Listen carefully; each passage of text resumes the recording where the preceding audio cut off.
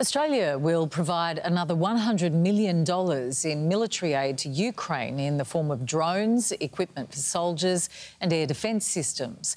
Defence Minister Richard Marles says his meetings in Lviv reaffirmed that the spirit of Ukrainians remains strong after significant support from key international allies.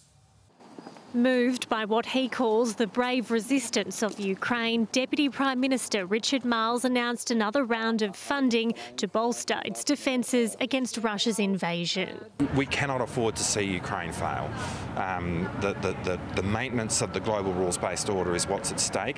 Global peace and security is what's at stake. The $100 million package includes $30 million for drones, 15 million for equipment such as rigid hull inflatable boats, helmets and boots, and $50 million for air defence systems. Marles went into the field to see firsthand where our money's going and met with the Ukrainian Prime Minister Denis Shmyhal and Deputy Minister of Defence Lieutenant General Ivan Havrilyuk.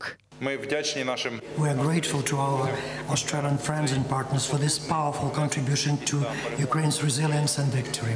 We shall never forget real friendship and support.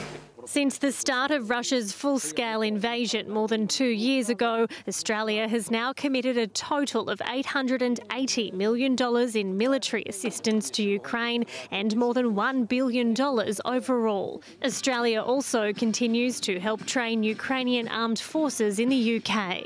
This will not be the last announcement that we make. Uh, this is an enduring conflict, and we will stand with Ukraine for the long term uh, until Ukraine is able to resolve this war on its terms. The Ukrainian PM is also keen to see Australia follow other international allies and return the embassy to the capital, Kiev. I hope to see you in Kiev more often. as often as I can. Sarah Navin for 10 News First.